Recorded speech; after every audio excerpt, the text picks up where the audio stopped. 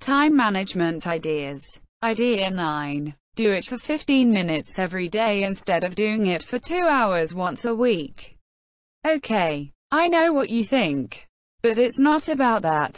Having a nap, having a snack, etc. If you want to think about that other thing that this is not about, you should do it as often and as long as it's possible till you still can. But enough about that. The other, it, I'm talking about is actually everything else. Because sometimes it's better to use only 15 minutes, but systematically than to use 2 hours from time to time. It's especially important when you learn new things. In learning this 4 by 15 minutes training time is not equal to 1 by 1 hour training. In 4 15 minute sessions you can learn more.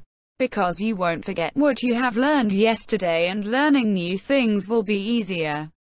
If you learn one hour once a week you may forget more things and need to spend more time to remember what you already knew. But remember, that it's not always best to work 15 minutes every day instead of 2 hours once a week. So, and now, if you would like to hear more from me, find me at my site, superai.pl, or check my YouTube channel. And, if you would like to talk to me, ask your Google Assistant, talk to SuperAI, contact me via Facebook Messenger. Talk to me via automated chat at my site.